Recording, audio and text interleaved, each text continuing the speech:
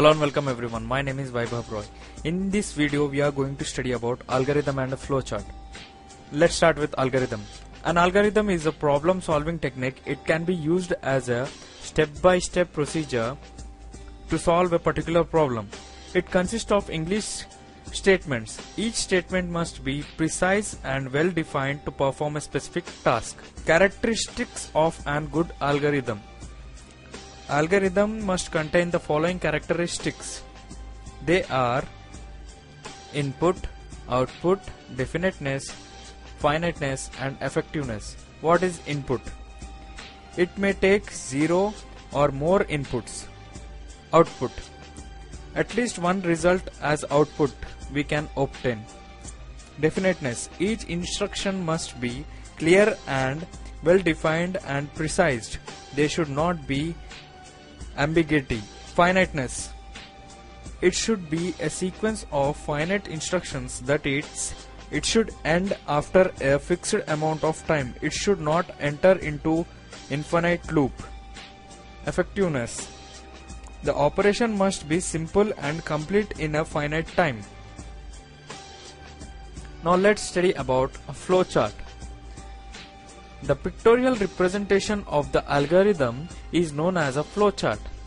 There are several symbols or pictorial representations used to draw a flowchart. They are um, like oval, parallelogram, rectangle, diamond and circle and arrows. Oval is also known as terminal which is used to start and stop the program uh, where parallelogram symbol is used to take input and output and give the output. Uh, where rectangle is used to show the processing of the data. And uh, rhombus or diamond is used to make decision makings. And circles are used to connect different symbols. And arrows show the flow of flowchart. Now let's consider an example of addition of two numbers uh, with and a sketch of algorithm and a flowchart to them. Algorithm to addition of two numbers. Step 1. Read the values of a, comma b, comma c. Step 2. c is equal to a plus b is the operation we need to perform. Step 3.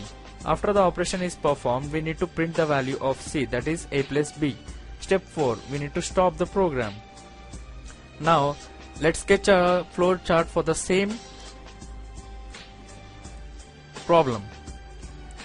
It will be as start, starting the program, reading the values of a and b, processing or computing the values of a plus b and assigning them to c then printing the value of C which is A plus B and stopping the program.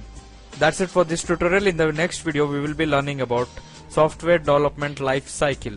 For all my videos please visit my YouTube channel that is www.youtube.com slash If you have any queries, comments or suggestions please email me to vaibhavroy at the rate of engineer.com. Thank you for watching.